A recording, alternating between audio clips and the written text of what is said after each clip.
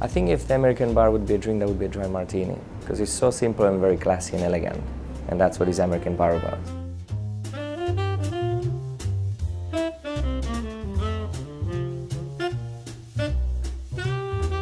Today, the signature drink at the Savoy is the Green Park, which I've created, and that was pretty much the inspiration of the White Lady, but I, I tried to transform the cocktail a bit into modern palate, but still keep it very classy. So it's gin-based with the celery bitters, lemon juice, egg whites, and a few leaves of basil.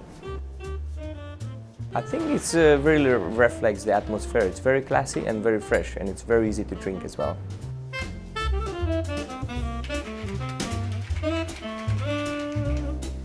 The beauty about the American bar is that the Savoy went through a massive renovation and, this, and the American bar was the only one place which remained exactly the same. Yeah, we had to change the carpet because having the so many amounts of people coming through, we had to do that, but the rest is still the same. So if you're coming through, coming through the door, you got sort of like a deja vu feeling. That you've been here 20 years ago and today you're coming back, you still got the same atmosphere, the same feeling. So it's pretty much about having this uh, golden era of cocktails.